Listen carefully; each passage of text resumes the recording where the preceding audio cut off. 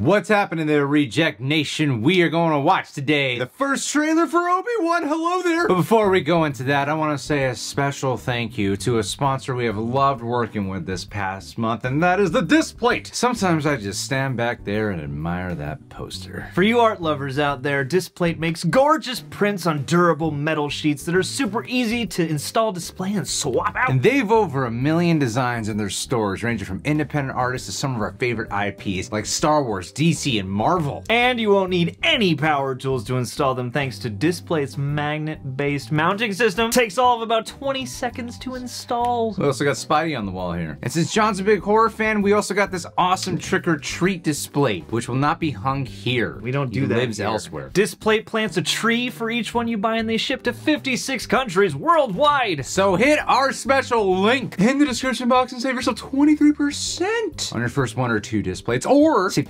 27% when you grab three or more. Supports them, supports the channel, supports you, and seeming like you're not living in some like blank colorless void in your life. Now on to the video.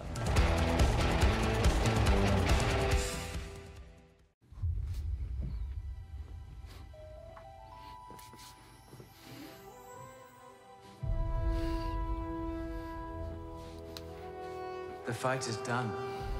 Hmm. We lost. Kenobi of Arabia.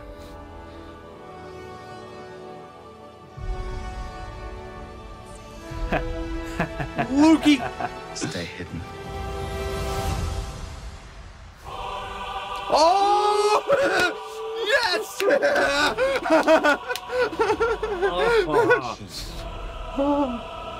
to hunting Jedi. His patience. Nipple chills. Grand Inquisitor! Jedi cannot help what they are.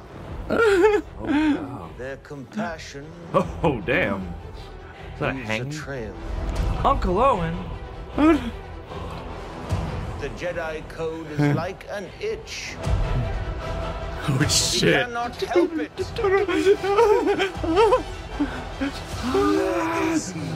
Dude! Oh. Oh my goodness! This looks great.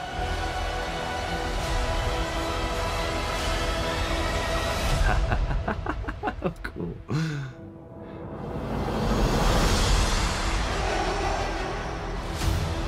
Holy balls. Ah, the lightsaber on the eye. Good. It's a good touch. Ha ha! Nice. Cool. Nice. Comes out when A New Hope was originally released in 1937. We gotta travel back in order to see Obi-Wan. That's good marketing. that looks great. that looks really cool. So it seems like that Vader dispatched the Inquisitors to go find Obi-Wan specifically. yeah, he's bitter. Unless know? there's a mislead here with the trailer, where they're like, "No, I think my son's out there." Don't let him get away. Go kill that kid. Whew, that looked awesome. That looked like a movie. Absolutely. Looked it like a movie. It was supposed to be a movie. That's gonna be better than Book of Boba Fett. Ah. peeps. That's the new bar. That's the new bar, as long as you clear as that. long as you're okay. and I like Boba Fett overall. I did too. Overall, I did too. But yeah, this looks more vital and, and more lived in. After they start playing Duel of the Fates, that was beautiful, absolutely beautiful to bring it full circle with the first appearance from Obi-Wan Kenobi's Ewan McGregor, and then now to have his show, a, a- a series that we've been wanting for so long, important chapter in his life. Now we got the Inquisitors showing up here, first time in live action if I'm not mistaken. So if you guys watch Rebels or played Star Wars Jedi Fallen Order, you will be familiar with the Inquisitors, obviously. They are like people who are dispatched to hunt down Jedi who survived after Order 66 or hunt down Force-sensitive children. I remember even playing Jedi Fallen Order. I think it was the second sister. Yes, I forget her actual name. Took me like four hours to beat her. I had to stop playing it and then continue the next day, did it in 30 minutes.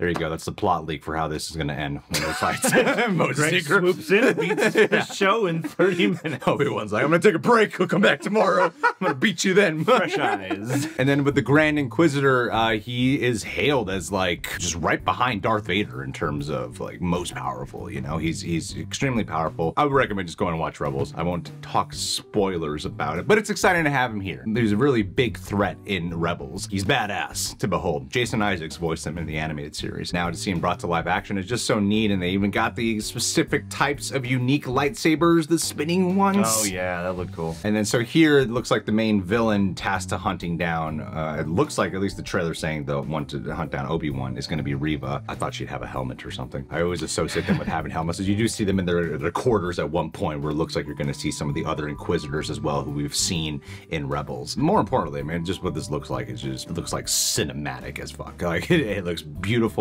I like seeing like the, the little bits of Obi-Wan that we got, like when he's watching Luke at the beginning, who's like, I'm going to be a pilot one day. and then Obi-Wan's looking at him like, oh, I've seen this before. Yes. Yes, I remember being here on Tatooine and this that one kid. Pod racing. He's just like his pops. Also, with the sort of um, despairing portrayal that we have here of Uncle Owen, with Joel Edgerton re- reprising his role, I imagine that this will also explore what ultimately led to them having this like tension between them. Because as we saw in A New Hope, the way how Uncle Owen describes him, he calls him like a crazy old wizard. You know, when you actually catch up with Obi Wan in that film, when uh, Luke brings up the name Obi Wan Kenobi, Obi Wan responds in a way like, I haven't heard that name in so long. My God, I forgot all about him. So I think we're going to be seeing, you know, A, this transition from Obi Wan just fully succumbing to becoming Ben Kenobi, where he has, you know, lost so much sight of his former self. Maybe, perhaps, I don't know. It's a very specific chapter. We'll also see what led to Uncle Owen completely mistrusting or wanting nothing to do with Obi Wan. Like, I, I think what will happen is through these series of events, Uncle Owen would ultimately find Obi Wan's presence to be a threat to Luke's safety. Yeah, with everything that he brings with him. And I'm curious to see how they'll play that because, I mean, hearing the description that we're going to join Obi-Wan in a state where he is more disparate and he is more faithless, I believe, as the press brief uh, puts it, that harkens to me to the idea that they went with for Luke in The Last Jedi, which I can't imagine they'll do here. So I'm curious to see how they change that flavor because also, I mean, Ewan McGregor is one of the best actors to grace a Star Wars movie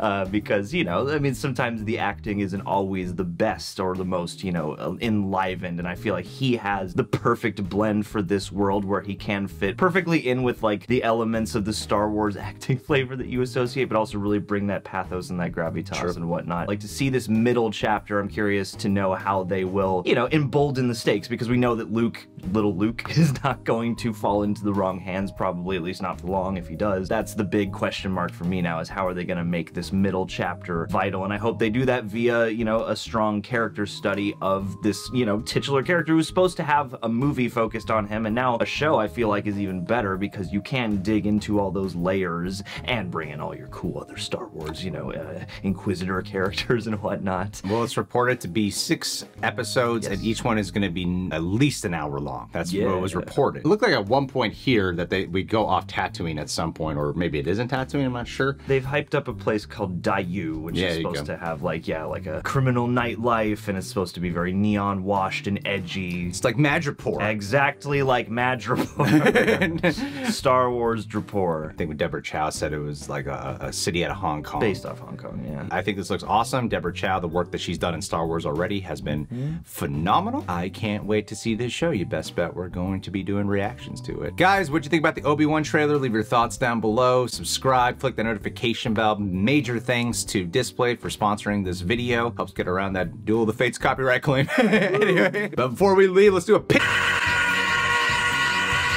We're gonna keep this straight to the point. Michael B, go! Michael B. If if we're gonna be covering this show, you can bet Michael B. is gonna be covering this show. So Michael, hey, prep yourself. The Star Wars fans are coming, and if you're a Star Wars fan who's made it to this point in the video, go subscribe to Omni Media and keep an eye out for his reactions. Just make sure that you watch them after you watch our reactions because we sent you. That's the hierarchy of things. Michael B. He's got great insights. He knows the world. He is an expert and a nerd on the highest level, of the highest order. We love him, and uh, hey, buddy, we'll catch you soon. Thanks for being here. Yeah, my